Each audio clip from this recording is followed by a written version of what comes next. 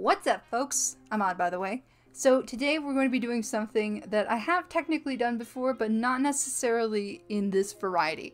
So I've done a lot of videos where I've redrawn old art. Oftentimes it's from like my teens, like maybe 13, 14, uh, maybe 15, like like early high school. Uh, there was a lot of like early teen tween stuff that I feel like I, I definitely threw out, and I'm a little bit upset about that, but it is what it is.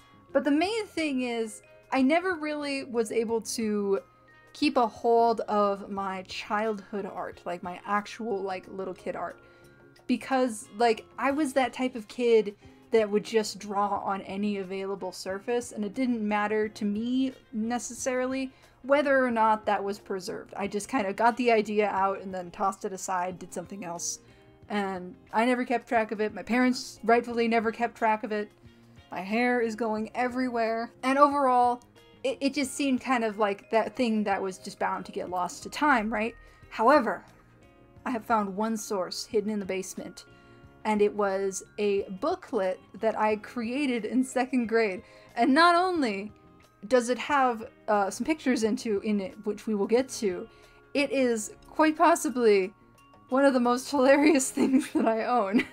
and maybe that's part of the reason that my teacher insisted we create these because honestly, like, let's so our parents, I mean, obviously it's cute to look back at your kids' stuff and their thoughts, but like, as an adult looking back at my little kid stuff, it's so funny.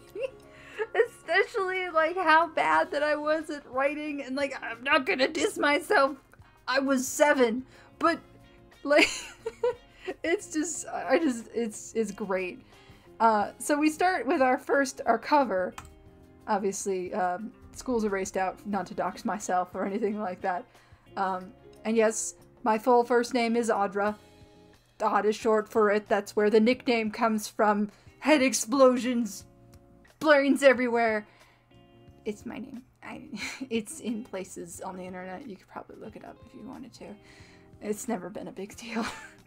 but this is my second grade book from 2006 to 2007. So between the ages of 7 and 8 for me. I'm a 99 baby, so I age up with the year, but an eight a year ahead. That's how I that's how I remember how old I was because I'm not good at remembering numbers. And um it is in fact very early 2000s, like terrible lamination, word art, in rainbow form because that was the cool one. Okay, no outline, which was, you know, the, the big 3D ones. That was the that was the real shit, right? But but I got the shadow, I got the rainbow words, like oh my god. I, I don't think that I did this. I don't think I had the the technological capability to do this as a second grader. I know a lot of people probably do now. I think that my teacher made this. And like maybe we picked out the I want to say that I remember picking out this word art, but I could be very wrong. I don't remember. Regardless, it is fantastic. and there's a random PowerPoint mouse on there for some reason. and I just wanted to go through a little bit of this, and it, like two pages, and I won't even read them out all the way. I just think that it's hilarious, especially because there's a couple of pictures of baby me. You can see my widow face my little Jack Torrance face. that is such an evil smile. I remember showing this to my teacher and she was like, That's great. That's that is wonderful. That's oh, I could tell she was lying even then. I just I think I thought I was funny. And yes, it is titled Picasso picture. I think that it wasn't intentionally a B. I think that I tried to write a lowercase p and then I didn't erase when I changed it to uppercase. This is a picture of me when in my class got to do a Picasso picture. It was really fun to learn about artists. We didn't just learn about him, we learned. Note how I spelled learn correctly? here. And not here. We learned about O'Keeffe and other famous artists. Some were funny and some were original. I think that's supposed to be original. I think. I think. it's supposed to be. I, I don't remember my mindset. I don't remember half of this. I, I think I think I could like it was interesting that we that we learned about Georgia O'Keeffe because um, I, I she has different art, but her most famous stuff is the the vagina flowers. Let's be real here. And then we have another beautiful Audie expression here. The gym face. I think the thing was at the time, my teeth, my front teeth were some of the first to go, and they were way bigger than the rest of my baby teeth. My baby teeth were tiny, and it made my front teeth look proportionately way too big. And even as a kid, I was very like self-conscious about that. So there's a good couple of years of me taking school pictures where I do not smile with my teeth. It's just not a thing that happens. Apparently, it's fairly common actually for kids to get insecure about their teeth, but that was just something that happened. I I don't think like I don't think I was in a good mood. I think that was also why I was having difficulty smiling. It was very hot. It's not like I had a bad day that day, but I remember it being very warm and I do not operate well in the heat. So, little Jim Face Odd got her origami book. She's like, uh, I didn't know what other kind of book to pick, and um, this is a strange place because we went to we took a field trip to a non-school library, so like just down the road. Said I really enjoyed the huge sectoing of origami.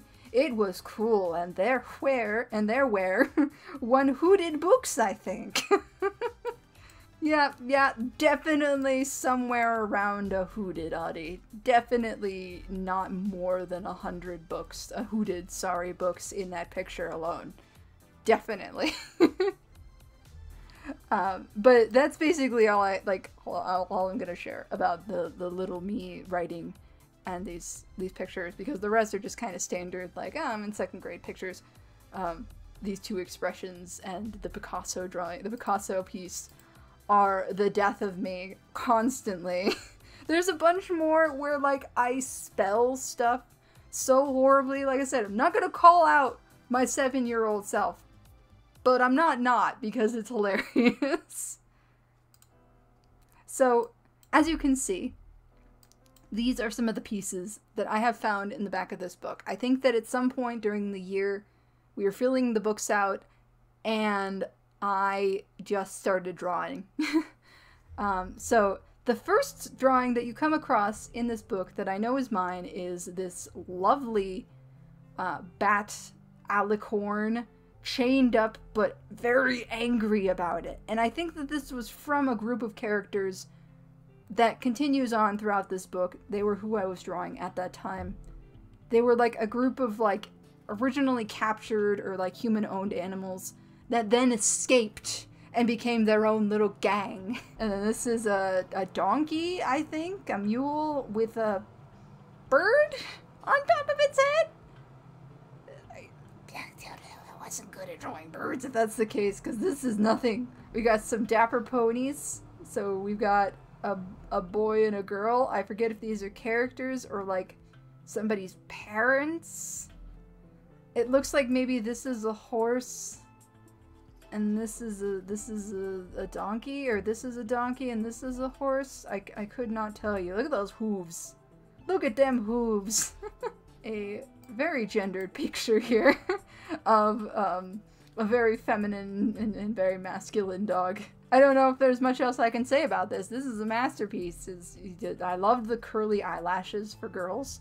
That's a that's a big a big factor, big like detail that I loved doing. And the little heart cheeks, the little heart cheeks are adorable. Your little boop on the, the that's so cute. If I like I might not get to all of these because there were like seven that I took pictures of, but I want to do this one we have a another case of the curly eyelashes and me attempting horse hooves. And then we have what I believe may be the same character, but I'm unsure. It could be a dog. Like, in fact, it may be a dog because I think the way that I distinguished between dogs and horses was that I gave horses hooves and dogs feet? Maybe? These these are these are feet. Maybe. I'm unsure. But it looks like the same character.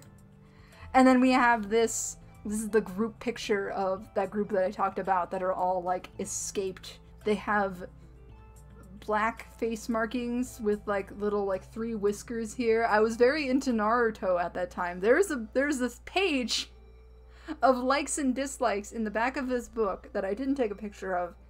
Uh, and I said that my favorite TV show at that time was Naruto. Just to give you an idea there. And yeah, I was very into the like the bean body shapes. You can tell that I wasn't Maybe this is running? Was this running? I cannot tell you. Also, this I think this is a dog. I'm pretty sure that I named this dog Bandit, and that's the only dog that I know the name of since because he was a prominent character in that like in the story that I was writing at that time. But like the rest of these guys I have no clue. This guy has a little like nose ring. He's cool. Got a dragon. I think this is a manticore? Maybe? It looks like it has like like uh, spider legs in the back. That's kind of cool. I don't think that was my intention, but that's that's what I'm gonna interpret it as. and this was on the very back of this booklet, so you can see I hadn't drawn very much in this, but this is what exists of the remnants of my seven-year-old self art, and that is insane because that is 23 minus 7. We can do this without getting a calculator. Hold on. 16 years old. This book is old enough to drive. Speaking of driving, I the reason that I've been like a little bit like out of posting as consistently as I want to, not that it totally matters. I, I was trying to post within the week, and now it feels like I post like at the end or like almost technically a week later and I, I didn't want to get to that but like I've been doing driving classes. I've been learning how to drive and learning a new skill and like studying for studying for the written test uh, is apparently a big load on your brain. Who knew? Learning a new skill would be hard. So it's been taking up a lot of my time as well as a lot of my drives were accidentally scheduled really close together because I misread a freaking form or something and regardless, that's why there's been a slight delay. It's the the course is five week long, five weeks long. It should be done sooner rather than later. But I want to learn how to drive and I want to learn how to do it well. So, you know, it took me long enough. I'm 24 now. like, but regardless, I am going to pick a few of these drawings. I think to to work out. Probably three. As per my usual tradition, I'm sure. But I'm going to fully flesh them out and try and make them into pictures that would make little me very happy. How can you say no to this face? Alright. Voiceover time. So, first I went for that pinnacle first drawing of this set, that cool bat-winged alicorn. I may or may not have initially tried to draw this without a horse reference in the sketch and immediately regretted it.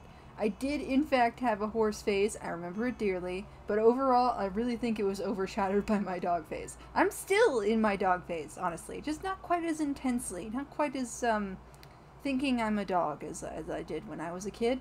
It's interesting to see and remember that I did at least try to draw other kinds of animals, if only mostly mythical creatures.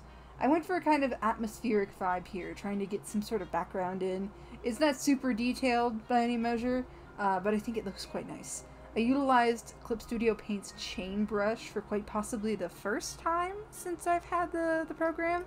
Uh, it did look a little weird in comparison to the rest of the lines though, so I wound up kind of inking over like 90% of it, just using it as like a reference. It's moments like this that remind you that these things are tools and not necessarily instant fixes.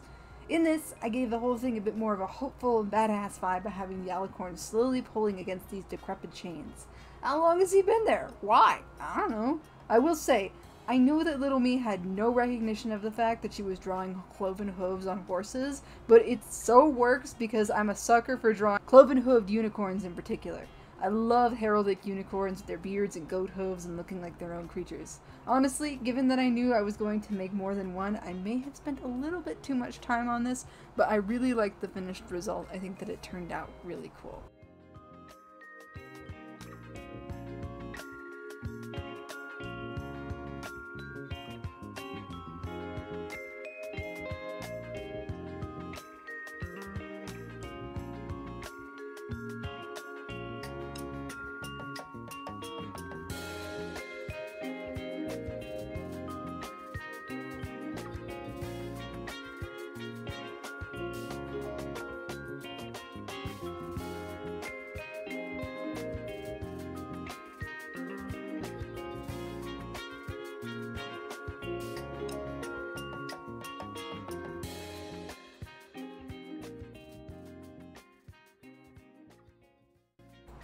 Next up, I went for kind of a change in style. All three of these are actually turned out very differently, really.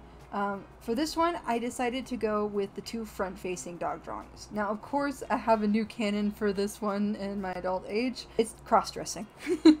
I, I love the idea of like taking this very kind of stereotypical portraits, where it was probably practicing some sort of dichotomy with my characters, maybe making somebody's parents like, hell, it could have been my parents, given that little me gave the boy dog a beard, but I, I think there's a picture of me with my parents in that memory book, and he didn't yet. And I remember at one point freaking out in my childhood when he first grew a mustache. He has a full beard now, so it's funny. But probably not my parents if that's the case. Regardless, in this new one, the mustachioed dog is next to his drag persona, who has more muted colors, curled red hair, and an extra bow, but also the same bow as his bow tie around her neck, just moved over. Since this was fairly simplified, I went for some bright colors and patterns, and you know I kept those dimpled, little dimpled heart cheek. Just look at them. Look at them! I don't know if these two are similar enough to be considered the same dog, uh, really, but makeup is a very powerful magic, so I'm just gonna say they do. No clue what their names are. I didn't rename any of these characters, really, and I didn't write their names down anywhere. I mean, you saw my handwriting then. These weren't really my regular cast of characters. I remember the vague concept of a few of them. The only character I do remember creating around this time, beside the like the the general concept of the the mythical creatures escaping the humans, uh, was this character that I called Charlie, I think, and uh, he was a shapeshifting alien who actually eventually was the the kind of the base for my OC satellite. I had a big thing with Littlest Pet Shops too, which is where all those big round heads and eyes came from. So, just to give you an idea about that.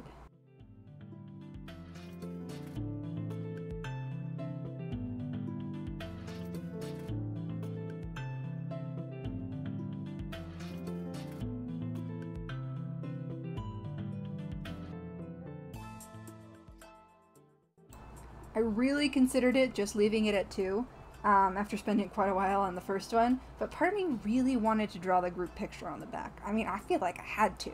I basically decided to compromise via yet another style change, this one more line focused. Which is so funny because I wound up spending as much, if not more, time with the hatching, but it was just another type of drawing that turned my brain into like that nice slow mode, so I just rolled with it. Time consuming? Yes. Fun? Absolutely.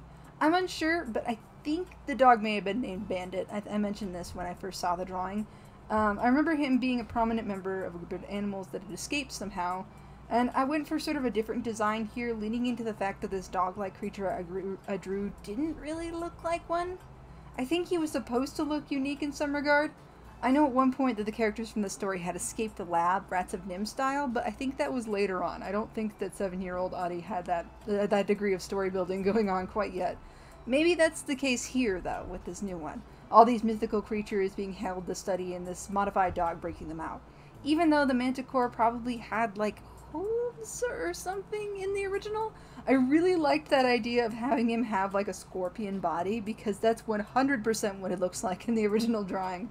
I really tried to give some creative brain power to the dragon's wings as well here, I'm honestly kind of proud of them. I'm learning slowly. It's like hands, okay? I'm not immediately great, great at figuring out how they move. I was totally gesturing with my own arms while drawing because bat wings do kind of look a little bit like hands. Uh, uh, the Manticore's feathered wings are eh, but they look okay. I went in for sort of a blocky hatch style of shading. And I went in later with some white highlights for a little bit more detail. I kept the kind of mustard yellow toned down a bit. It looks kind of like a toned paper drawing this way, I think, and I really like it.